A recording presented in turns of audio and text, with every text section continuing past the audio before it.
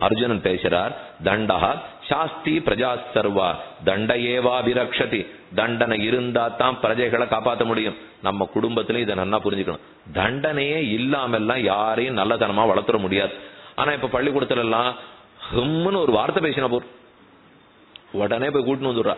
வெளிநாட்டுல எல்லாம் ஒண்ணு இல்ல. அம்மா வந்து குழந்தைக்கு சோறு ஊட்ட போய் அது சாப்பிட மாட்டேன்னு பிடிவாரம் பிடிச்சு முதுகுல ஒண்ணு வச்சு ஊட்டினா அந்த குழந்தை கையில சின்ன தொலைபேசி வச்சிருக்கு. அது உடனே ஒன்பது ஒண்ணு ஒண்ணுன்னு போடுறது. போட்ட உடனே நேரம் இந்த சத்தம் போட்டுட்டு கிடுகிடுன்னு ஒரு வண்டி வந்து நிக்கிறது சரி என்னவோ குழந்தைக்கு உடம்பு சரியில்லையாண்ணா? இல்ல உங்களை தான் கூட்டின்னு போக வந்தேங்கிறான். அழைச்சின்னு போறான் அவ்வளவுதான் மறந்துட வேண்டியதான் எங்க இருக்காள்னே தெரியல. என் குழந்தை அவ கேட்டான் என்ன தப்பு பண்ணேன்னா? குழந்தை அடித்தீர். குற்றம். என் குழந்தை அடிச்சேன் நான் அடிச்சது நான் தான் பெத்தேன் பத்து மாசம் சுமந்திருக்கேன். நான் அடிச்சேன்னா நான் அது உங்கள் நாட்டில். இங்க இல்ல. இது மேல நாட்டு கலாச்சாரம். இதே போல கலாச்சாரம் இங்கேயும் நன்னா வர ஆரம்பிக்குது. ஏன்னா பள்ளிக்கூடத்துல இருக்கிற வாத்தியார் கேட்க முடியாது. இப்ப பாடசாலை நடத்திட்டு இருக்கோம். சந்த சொல்லணும். சந்த சொல்லலே புள்ள பண்ணான்னா என்ன பண்ணலாம்? அப்ப முதுகுல ஒண்ணு வச்சாதான் சந்த சொல்ல போறான்.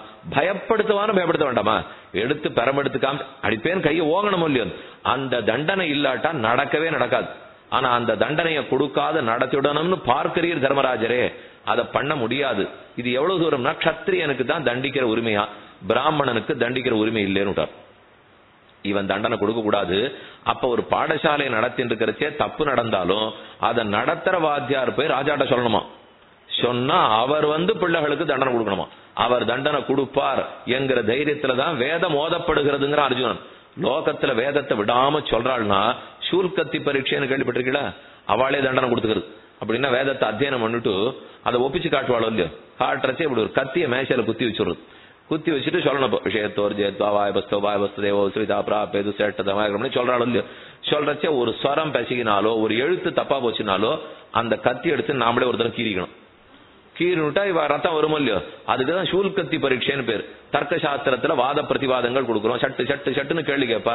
அந்தந்த நிமிஷம் பதில் சொல்லணும். ஒரு அரை நிமிஷம் கேள்விக்கு பதில் சொல்லலன்னா எடுத்து கீறிக்கணும். ஏன் அவ்வளவு தூரம்? பெரியவாள்லாம் அத்தியனம் பண்ணவா? எழுதவே எழுதியிருக்கா புஸ்தகத்துல. எங்க தகப்பனார் நான் ஒரு பஞ்சாதி இன்னைக்கு சந்தேக காத்தால நாலு மணிக்கு எழுந்து ஒழுங்கா சொல்லலைன்னா இடுப்புல கயத்தை கட்டி கணத்துக்குள்ள இறக்கிடுவார். கணத்துல ஒரு தடவை முக்கி குழந்தைய வெளியிட இருப்பான் ஒழுங்கா வேதம் சொல்லலைன்னா. அப்ப இதெல்லாம் என்ன தண்டனை சேர்த்தியா இல்லையா? இந்த தண்டனை எல்லாம் பெரியவர்கள் கொடுக்காது இருந்துட்டாளா? கொடுத்தா தான் அந்த பயத்துல தான் நடக்கும். தண்டனையே இல்லாம லோகம் ஓடாது. அத மறுபடியும் அர்ஜுனனே சொல்றார். பயம் இருக்கணும். நாபீதோ எஜதே ராஜன் நாபீதோ தாத்துமிச்சதி. நாபீத புருஷ கஷ்டித் சமயே ஸ்தாத்துமிச்சதி. பயம் இல்லாட்டா யஜ்யம் பண்ண மாட்டான். பயம் இல்லாட்டா பூஜையே பண்ண மாட்டான். பயம் இல்லாட்டா தழுகையே பண்ண மாட்டாங்கிறார். எல்லாம் பயம் இருக்கணும். பயம் இருந்தா தான் தெய்வ பூஜைக்கு வருவான். நமக்கு பயம் விட்டு போச்சுன்ற மொழியோ சுவாமி குளிர் விட்டது பயம் விட்டது இதெல்லாம் எதுக்கு சொல்றா? பண்ண மாட்டான்னு அர்த்தம் இனிமே. அந்த பயம் இருக்கணும். சனாதன தர்மத்தில் ஒரு பக்கம் அந்த பயம் இருக்கணும்னு ரொம்ப குறைச்சலான சாஸ்திரம். கொஞ்சம் ஸ்லோகம். ஆனா எண்ணிறந்த ஸ்லோகங்கள் கருணை கருணை பொறுமை பொறுமைன்னு எழுதிட்டாலும் இல்லையோ? அந்த பொறுமை கருணை விஷயம் கொஞ்சம் கூடப்படுத்து இந்த தண்டிக்கணும்னு சொன்னது இருக்கு. இல்லாம இல்ல இப்ப பாரதத்துல. ஆனா இருக்குன்னா இத்தனை நாளி ஸ்லோகத்துல இப்ப மட்டும்தான் இந்த மாதிரி பாக்குறோம் இது வரைக்கும் இந்த மாதிரி பார்த்தோமா? எப்பவும் கருணையோட இரு அஹிம்சையோட இரு இப்படியே சொல்றாலும் இல்லையோ? அது நிறைய இருக்கு இது குறவா இருக்கு. அப்படின்னு என்ன அர்த்தம்? நிறைய கருணையோட குறவா தண்டனையோட இருக்கணும்னு அர்த்தம். அதுக்கு தான் அந்த ஸ்லோகத்தை நிறைய வச்சுட்டு இந்த ஸ்லோகங்களை குறைச்சலா வச்சிருக்கா. நம்ம என்ன பார்த்தோம்? ஸ்லோகம் குறைச்சலா இருக்கோ இல்லையோ? தண்டனையே வேண்டாம்னு சொல்லலாம் நாள். அது அப்படி நடக்காது. காவலாளிகள் இருக்கணும் பயம் இருக்கணும் பயந்தா தான் வருவான். ஒரு பயப்படுத்தி கூட்டின்னு வரணும். கூட்டின்னு வந்தப்புறம் பிரியத்தை வளர்த்தணும். எப்பவுமே பயத்துல காலம் ஓட்ட முடியாது. நான் இப்ப என் குழந்தை அஞ்சாவது வயசு முதல் வகுப்புல கொண்டு போய் சேர்க்கணும். போக மாட்டேன்னு சொன்னா முதுகலை பண்ணு வச்சு கொண்டு விட்டேன். சாமி இப்ப பத்தாவது படிச்சுட்டு இருக்கான். இப்போ முதுகலை வச்சு தான் கொண்டு விடுறேன் நான். அது அது அன்னைக்கு அஞ்சாவது ஒன்னாவதுக்கு பொறிச்சு பண்ணிட்டு இருக்கலாம். அதுக்கப்புறம் அவனுக்கு ஆசை வரணும். அவனே தான் போய் படிக்க போனமே தவிர வயசாக வயசாக அந்த பீதி பிரீத்தியா மாறணும். ஆனா பீதியே இல்லாட்டா வாழ்க்கை செல்லாதுன்னு தெரிந்து கொள். கிராமா நிஷ்கம்ய முனையா விகத குரோதம் மத்சராக வனே குடும்ப தர்மானா திருஷ்யந்தே பரிமோகிதாக ஏன் தர்மபுத்திரா அவனுக்கு தெரியாதா? நாட்டுல இருக்க மாட்டேன்னு காட்டுக்கு போய் தபஸ் பண்ண ஆரம்பித்து விஸ்வாமித்திரர் யாராருக்கு ஆசைப்பட்டார் குழந்தை பெத்தார்ன்றது உனக்கு தெரியாதா? எத்தனை ரிஷிகள் காமவசப்பட்டுட்டா ஒரு ஒரு அப்சர ஸ்திரீ இந்திரன் எதுக்கு வச்சுட்டு இருக்கான் யாரானு காட்டுக்கு தபஸ் பண்ண போனோடனே அனுப்பிச்சு விட்டுடுறான் இப்ப நீ சொல்றபடி பார்த்தா காட்டுக்கு போனவெல்லாம் அப்சரஸுக்கு மோகிக்க கூடாது. ஆனா ஒரு ஒரு கதையில அப்சரஸுக்கு வசப்பட்டுட்டான் காமத்துக்கு வசப்பட்டான் குழந்தை பெற்றான் தபஸை இழந்தான் இத்தனை கதை இருக்கே. அப்படின்னா காட்டுக்கு போனதுனாலெல்லாம் நல்லது நடந்துடும்னு நினைக்காதே. லோக யாத்திரை இருக்கிற இடத்திலேயே தர்மம் கர்மம் ஆகியவற்றை செய்ய வேண்டும். மனிதன் மாறி மாறி பிறக்கிறான். இதிலிருந்து வெளியேறுவதற்காகத்தான் துடிக்கிறான்.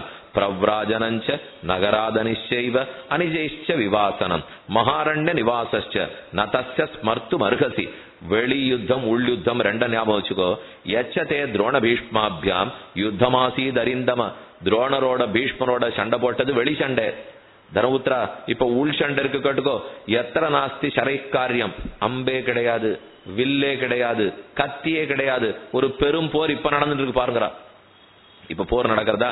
அம்பு கத்தியோட போட்ட போர் பீஷ்ம துரோணர் போர். ஆனா இப்ப போட்டு இருக்கிறது எது தர்மம்னு புரியாத போர் இப்போ. ஆத்மனைக மனசைகேன யோத்தைவியம் தத்தே யுத்தம் உபாஸ்திதம். எத்திர நாஸ்தி சரை காரியம் நமித்திரைர்னச்ச பந்துபிகி ஆத்மேன ஆத்ம ஆத்மனைகேன யோத்தவ்யம் தத்தே யுத்தம் உபோப்சிதம் ஏற்கனவே நடந்த வெளி யுத்தத்தை ஜெயிச்சுட்டீர் தர்மபுத்திரரே. இப்ப உள்ள நடக்கிறது நம் மனசோட நமக்கு நடக்கிற யுத்தம். இந்த யுத்தத்தை ஜெயிக்கிறது தான் கஷ்டம். ஏற்கனவே கண்ணனே சொல்றார் காமக்ரோதத்தோட சண்டை போட்டு ஜெயிக்க பாரு அர்ஜுனா. வெளியில இருக்கிற கர்ணனையும் துரோணரையும் ஜெயிச்சு விடலாம். ஆனா உள்ள இருக்கிற விரோதிகளை ஜெயிக்கவே முடியாது அப்படின்னு கூறுகிறார் அர்ஜுனன் மேற்கொண்டு கூறுகிறார். இப்போ அந்த- அந்த இடத்துக்கு இத போல பேசி நடந்துட்டு இருக்கிறச்சே தர்மபுத்திரன் சொல்றார் ஜனகமன்னவன் எப்படி இருந்தார்னு உனக்கு தெரியுமோ? என்று ஒரு கதை சொன்னார். ஜனகன். அப்படியே ராஜரிஷி. ராஜரிஷியா இருந்தா கூட பற்றில்லாம இருந்தார். அவர் காட்டுக்கு போகணும்னு வாழ்ந்தார். அந்த ஜனகனுடைய வயிற்ற பத்தி நீ தெரிஞ்சுக்கணும். அவர் பெருமை கூறுகிறேன். அசந்தோஷா பிரமாதஸ்ய மதோ ராகோ பிரசாந்ததா பலம் மோகோபிமானஸ்ய அபியுத்வேக சைவ சர்வசா. ஒரு வயிற்ற வளர்க்கறதுக்கா இந்த பாடு? கூடாதே. சந்நியாசி வாழ்க்கை வாழணுமே. ஜனகன் அப்படித்தான் இருந்தார். மிதிலாயாம் பிரதீப்தாயாம் நமே தக்கியதி கிஞ்சன. அந்த சரித்திரம் சொல்றாரு இப்போ. தர்மபுத்திரன் ஜனகனுடைய சரித்திரம். ஜனகனுக்கு யாக்ஞவல்யர் ஆச்சாரியம். யாக்ஞவல்கர் இடத்துல உட்கார்ந்து தான் அவர் பாடம் கேட்டுப்பார் ஆனா ஜனகன் வந்தா தான் யாக்ஞவல்கர் பாடத்தை ஆரம்பிப்பார். இது மத்த ரிஷிகளுக்கு எல்லாம் வருத்தம். ராஜா அவர் வந்தா தான் ஆரம்பிக்கிறார். ஏதோ கொடுக்கல் வாங்கல் இருக்கும். அதனாலதான் அவர் வந்து ஆரம்பிக்கிறார். அப்படின்னு மத்த ரிஷிகள்லாம் பேசிக்கிறா இது உண்மை இல்லையேன்னு புரிய வைக்கணும்னு யாக்ஞவல்கருக்கு எண்ணம். அதனால ஒரு நாள் பாடம் நடந்துட்டு இருக்கிறச்சே தன் யோக மகாத்மத்தால மிதிலா எரிகிறா போல காட்டினார். உண்மை இல்லை. தன் மாயையால மிதிலா தேசம் எரியறாப்புல காட்டினார். அந்தந்த ரிஷி பிடி ஓட்டம். இவரை காண இவரை காண இவரை காண எல்லாரும் போயிட்டா? எல்லாரும் போய் பார்த்துட்டு ஒண்ணுமே இல்லைங்க. அங்க எரியவே இல்லை. திரும்பி வந்து அவ இடத்துல உட்காந்துட்டா ரிஷி கேட்டார் எல்லாம் ஓடி ஓடி போயிட்டு இருந்தீங்களே எதுக்கு போனீர்? இன்னைக்கு இருந்தா இருந்தா உமக்கு ஒரு ஜோடி பூனல் காணா போயிருக்குமா? உமக்கு இன்னைக்கெல்லாம் இருந்தா ஒரு கமண்டலம் காணா போயிருக்குமா?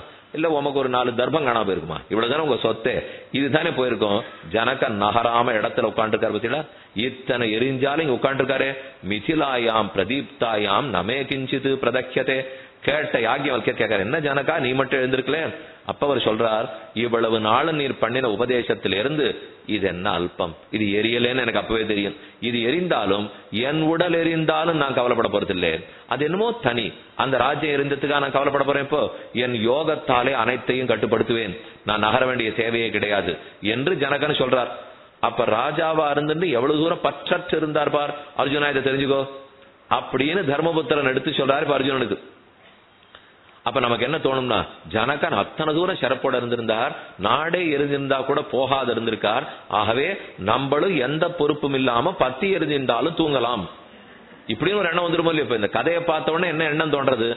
ஏன்னா படிக்கிறச்சே இதெல்லாம் ரொம்ப சூக்மான அர்த்தம். பார்த்து ஜாகிரதையா படிச்சுக்கணும். இதுக்கு தான் நாம்பளா புஸ்தகத்தை வெறுமை வாங்கி படிக்கக்கூடாதுங்கிறது. இந்த படிச்ச உடனே நமக்கு எதுக்காக எழுதியிருக்காங்கிறதே புரியாது இல்லையோ? ஒரு புஸ்தகம்ங்கிறத எடுத்துனுட்டா இதுல இப்படி சொல்லப்பட்டிருக்குனால் இத போல ஒரு பத்து புராண இதிகாசம் ஆழ்வார் பாசுரம் வேதம் உபனிஷத்து இது எல்லாத்தையும் வாசிச்சுட்டு அதுக்கும் இதுக்கும் முடிச்சு போட்டு எங்கைக்கும் தப்பில்லாத அர்த்தம் கொண்டு வரணும். இப்ப இந்த இடத்துக்கு ஒரு பொருள் சொல்லிட்டோம்னால் இது நேர ஒரு ஆழ்வார் பாட்டுல பொருந்தாம வந்ததுன்னா சொல்லக்கூடாது. என்ன பெரியோர்கள் என்னைக்கும் ஒண்ணுக்கு ஒண்ணு முரண்பட்டு பேசவே மாட்டா. அனைத்து இடத்துலயும் ஒன்னா தான் பேசியிருப்பார். இங்க இப்ப ஒரு வார்த்தை இருக்கு. இதுக்கு நேர் எதிர்த்தாப்புல வராக புராணத்துல ஒண்ணு இருந்தா அந்த ரெண்டு வார்த்தையும் பொருந்த வைக்கிற அளவுக்கு வாயை திறக்காத இருக்கணும். அது பொருந்தினா தான் வாயை திறக்கணும். இல்லைன்னா அதை பத்தி பேசவே கூடாது. சுவாமி அது பொருந்தாது. இப்படித்தான் இதிகாசம் இருக்குன்னு ஆரம்பிச்சிருவா. பொருந்தாது இல்ல. பொருந்தினது எப்படின்னு எனக்கு தெரியல. அதுதான் உண்மையை தவிர எத்தனையோ லட்சோப லட்ச ஸ்லோகங்கள் நமக்கெல்லாம் தெரிய போறதா? நம்மளது மந்த புத்தி மந்த ஆயுசு மந்த ஸ்ரத்த இதை வச்சுன்னு பிரயத்தனம் பண்ணணும். இங்க எப்படி இருக்கு இங்க எப்படி இருக்கு இங்க இப்படி இருக்கு அப்படிங்கிறதுக்கு முதல்ல எல்லா புத்தகத்தையும் படிக்கணும். படிச்சா மட்டும் போராது. ஆச்சாரிய இடத்துல உட்கார்ந்து முதல்ல முட்டி தேய காலக்ஷேபம் அதுவே இல்லை. ஒரு பன்னெண்டு வருஷமான ஒரு பெரியவரிடத்துல கேட்காம நாம ஏதாவது பேச ஆரம்பித்தால் அபத்தமா தான் பேசுவோம். அது ஒன்றும் சுபத்தமா பேசுறதுக்கே வராது. நன்கு சொல்லணும் கோவையா இருக்கணுமா? முதல்ல கோவையா நம்ம புரிஞ்சுக்க வேண்டாமா? புரிஞ்சிருந்தா தானே சொல்லவே முடியும். இப்ப சட்டுன்னு பார்த்தா என்ன துணிப்படும்? ஓ ஜனகராட்டம் இருக்க கத்துக்கணும். எரிஞ்சுட்டே இருந்தாலும் கவலைப்படாம இருக்கணும். இன்னைக்கே போய் குடும்பத்துல சொல்லிட வேண்டியதான் சுவாமி. இதுதான் ஜனகர் கதையில நான் தெரிஞ்சின்றது. இனிமே அவாவா பாட்டு அவாவா பாத்துங்கோ. பொறுப்பெல்லாம் நாங்க எடுத்துக்கிறதாகவே இல்லைனால் அதெல்லாம் அவர் சொல்லவே இல்லை. ஜனகருக்கு இந்த பொறுப்பு உடனே சட்டுன்னு அர்ஜுனன் தடுத்து பேசிட்டான். ஒரு பாதி கதையை சொல்றீரே தமையனாரே. பாக்கி பாதி கதையை நான் சொல்லட்டுமான்னு அவன் ஓஹோ இவன் ஏதோ வேற கதை வச்சிருக்கானே. நம்ம தானே ஜனகன் கதையை சொன்னோம்னால் இதே ஜனகன் குழப்பத்துல ஒரு தடவை நான் சன்னியாசம் எடுத்துன்னு காட்டுக்கு போறேன்னு சொன்னார். அந்த ஜனகனுடைய மனைவி சீதையோட தாயார். சீதையோட தாயார் ஜனகனை உட்காத்தி வச்சு உபதேசம் பண்ணி அவன் எவ்வளவு முட்டாள்தனமா பேசுறான்னு புரிய வச்சு நாட்டை ஆள வச்சு ஆணுட்டான் இது ஏற்கனவே நடந்திருக்கிற கதை. இப்ப அதை சொல்றேன் கேட்டுக்கும் கதை அஸ்தி கதையந்தி புராவிருத்தம் இதிகாசம் இமம் ஜனாக உத்ஸ்ருஜ ராஜ்யம் பிக்ஷார்த்தம். கிருதபுத்திம் நரேஸ்வரம். இதே ஜனகன். நான் இனி நாட்டை ஆள போறதில்ல காட்டுக்கு போறேன்னு சொன்னார். அமர்த்தி வைத்து அவதான் பேசினான். பிரதிஜா தேன்யதா ராஜன்னு விசேஷ்டா சான்யதா தவ. நீர் எடுத்துட்ட பிரதிஜை ஒன்னா இருக்கு பண்ற காரியம் வேறையா இருக்கு நாம எடுத்துப்போம் இல்லையோ? அதாவது இவர் இன்னிலிருந்து நான் பிரதான மந்திரியாக இருக்கிறேன். என்னென்னது பிரஜைகளுக்காக நான் செய்வேன். இன்னென்னபடி நான் நடக்க மாட்டேன். அப்படி எல்லாம் பிரமாணம் எடுத்துக்கிறாள் இல்லையோ? அது இப்ப அதுக்கு ஆளுநர் வருவார் ராஷ்டிரபதி வருவார் வந்து இன்னார் இன்னார் இப்ப இப்படி இருப்பார்னு சொல்றோம் இல்லையோ? அப்ப எல்லாத்தையும் இதை பண்றேன் இதை பண்றேன் இதை பண்றேன் இதை பண்றேன்னு சொல்லிட்டு அத போல இப்ப தர்மபுத்திரனுக்கு பட்டாபிஷேகம் பண்ணிச்சே மொத்த பிரமாணம் எடுத்துட்டார். ஜனகர் பட்டாபிஷேகம் பண்ணிச்சே பிரமாணத்தை எடுத்துட்டு மொத்தத்தையும் காத்துல விட்டு கிளம்பி காட்டுக்கு போயிட்டா?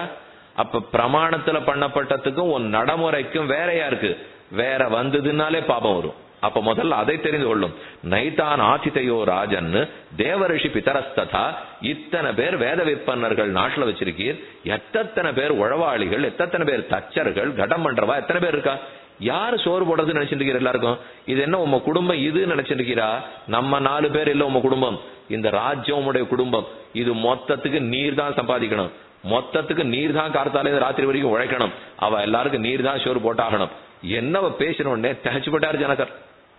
ஓ சாமான்யமா பெண்கள்லாம் ஒன்னும் பண்ணாதே பண்ணாதேன்னு சொல்லுவான்னு நினைச்சிட்டு இருக்கேன் இவ சரியான ஸ்திரியா இருக்காளே. மொத்தத்தையும் நீர் தான் பண்ணணும் உம்மு தான் பொறுப்புன்னுட்டு அப்புறம் அவர் புரிஞ்சுட்டாராம். சரி பெண்ணே ஆனா தியாகம் பண்ணணும் சன்னியாசம் பண்ணணும்னு சொல்லியிருக்கே. அது உனக்கு புரியலையா? என்று ஜனகர் கேட்கிறார். அப்போ தியாகாந்த பிக்ஷுகம் வித்யான்னு ந மௌட்டான்னச்ச யாச்சனாத். ரிஜுஸ்து யோர்த்தம் தியஜதி ந சுகம் வித்தி புக்ஷுகம். யார் பிக்ஷுன்னு யோசித்து பாரு. பிச்சை எடுக்கணும்னு சொல்றது இல்லையா? பிச்சை எடுத்து நீர் வாழ வேண்டாம். எது தியாகம்? நான் அத்தனையும் மக்களுக்காக பண்ணிட்டு என் சொந்த வாழ்க்கையும் பார்க்காம உழ உழைன்னு மக்களுக்கு உழைக்கிறேனே அது தியாகம். நான் அனைத்தையும் சம்பாதித்த பிற்பாடு அவர்களுக்கு கொடுத்துடுறேனே அது தியாகம். நான் எவ்வளவு தேக சிரமப்பட்டாலும் படவே இல்லைன்னு சொல்றேனே அது தியாகம். தியாக வார்த்தைக்கு தப்பா அர்த்தம் பண்ணிருக்கீர் ஜனகரே பண்ணாம இருக்கிறது தியாகம் இல்லை. கர்மத்தை பண்ணிட்டு பலத்தை தியாகம் பண்றதுதான் தியாகம். தியாகம்னா எது தியாகம்? வேலை பார்க்காது இருக்கிறது தியாகம் இல்ல. வேலையை முழுக்க பார்த்துட்டு உழவுழைன்னு உழைச்சிட்டு அந்த உழைப்புக்கு இந்த பலன் நமக்கு வேண்டாம் மக்களுக்கு இருக்கட்டும் நினைக்கிறானே அவன் தான் அரசன். அவனைத்தான் தியாகின்னு சாஸ்திரம் சொல்லியிருக்கு. நீர் சொல்ற தியாகம் அல்ல. இதுக்கப்புறம் தான் ஜனகர் சொல்றார் பெண்ணே எனக்கு மோகம் தீர்ந்தது. இனிமே நீ சொல்றபடிக்கே நான் நடக்கிறேன். எப்போது நாட்டில் இருப்பேன் ரட்சிப்பேன்னார் அப்படின்ற கதையை அர்ஜுனன் கூறினான். அதுக்கப்புறம் யுதிஷ்டிரர் சொல்றார் நான் தெரிஞ்சு நீங்க பேசுறதெல்லாம் எனக்கு புரியாது. ஆனால் அப்ப கீதையில சொல்லப்பட்ட ஸ்லோகங்கள்லாம்? யஜ்யம் தானம் தபஸ் கர்ம. தபஸ் பண்ணணும்னு சாஸ்திரம் சொல்லியிருக்கே. அர்ஜுனன் கேட்கறான் யஜ்யமும் தானம் பண்ணணும்னு சொல்லியிருக்கேன் நீர் தபஸ் பண்ணணுங்கிறதுக்காக காட்டுக்கு போனோம்னா யாக யஜ்யம் பண்ணணுங்கிறதுக்காக நாட்டுக்கு இருக்கணுமே. நீர் ரகசியம் பேசணுங்கிறதுக்காக காட்டுக்கு போனோம்னால் அப்ப மந்திராலோசனை பண்ணணுங்கிறதுக்கு நாட்டுக்கு இருக்கணுமே. நீர் தியானம் பண்ணணுங்கிறதுக்காக காட்டுக்கு போனோம்னா அந்த தியானத்தால சொல்லப்பட்ட பெருமானை பத்தி எடுத்து சொல்ல நீர் நாட்டுக்கு இருக்கணுமே. எத்த பண்ணணும்னாலும் அங்க பாதி இருக்குன்னு இங்க பாதி இருக்கு. இதை விட்டுட்டு போயிட முடியாது என்று மறுபடியும் அர்ஜுனன் பேசினான். தந்து கேவலம் அஸ்திரஜா வீரவிரத சமன்விதா சாஸ்திரார்த்தம் தத்துவத்தோ ந சமர்த்தா கதஞ்சன. உனக்கு சாஸ்திரார்த்தம் எல்லாம் புரியாது. இது மிகச்சிறந்த சூக்மமான அர்த்தம். அர்ஜுனா உனக்கு வீரன் தீரன் கரணன் அடிக்கிறதுக்கு தான் தெரியும். இதெல்லாம் ரொம்ப வசதி என்று சொன்னார் தர்மபுத்திரர். அர்ஜுனன் சட்டுன்னு திருப்பி சொல்லிட்டான். இப்படித்தான் கையால் ஆகாதவா சொல்லுவான்னுட்டான். அப்படின்னா நமக்கு ஒண்ணு தெரியாது பண்ண போறது இல்லைன்னா அதெல்லாம் ரொம்ப வசந்த விஷயம் உங்களுக்கு புரியாது தெரியுமோ? இப்படின்னு ஆரம்பிக்கிறது. எல்லாம் எனக்கு புரிஞ்சுதான் இருக்கு இப்போ. ஆனா அவ ஆரம்பிக்கிற சேவை அதெல்லாம் நீங்க பேச வேண்டாம்னா இதெல்லாம் பெரியவா பேசிருக்கிற விஷயம்னால் யார் பெரியவன் இப்போ? பெரியவன் சின்னவனு புரிய வைக்கணும். அதுக்கு தான் பெரியவன் இருக்கானே தவிர இதெல்லாம் உங்களுக்கு புரியவே புரியாதுன்னு ஆரம்பிக்க வேண்டாம். எல்லாம் புரியும். இந்த பக்கத்துல வாசுதேவர் இருக்கார் வியாசர் உட்காண்டிருக்கார் நீர் சொல்லுவது சரியா நாம் சொல்லுவது சரியான்னு யோசித்து பாரு. சரி இப்ப நீர் சொன்ன வழிக்கே வருகிறேன். நிறைய பாப்பத்தை சம்பாதிச்சுட்டேன். அதுக்கு பிராயசித்தம் தேடி ஆகணும். காட்டுக்கு போய் தபஸ் பண்ணி பிராயசித்தம் தேட போகிறேன். என்று தானே நூறு கூறுகிறீர்?